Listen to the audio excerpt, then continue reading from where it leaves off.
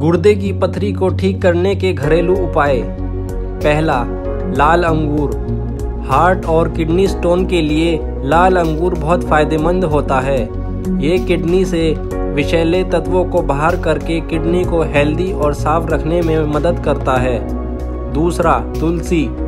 गुर्दे की पथरी होने पर तुलसी के पत्तों का सेवन बहुत फ़ायदेमंद होता है।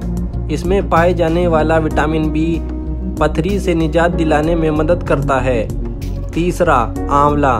आंवले का पाउडर और मूली का इस्तेमाल एक साथ करने पर गुर्दे की पथरी निकल जाती है। इसमें एल्बुमिन और सोडियम क्लोराइड की मात्रा बहुत कम होती है, जो कि पथरी के उपचार के लिए फ़ायदेमंद होती है। चौथा, ज़ीरा। ज़ीरे को चीनी के साथ पीसकर एक चम्मच पानी में मिलाकर दिन में तीन बार लेने से फ़ायदा मिलता है। डेली ठंडे पानी के साथ इसे लेने से किडनी स्टोन बहुत जल्दी पेशाब के ज़रिए बाहर निकल जाता है। पाँचवा, सेहत से जुड़ी तमाम जानकारियों के लिए हमारे पेज आयुर्वेदिक नेशन को फॉलो करना ना भूलें। Thank you.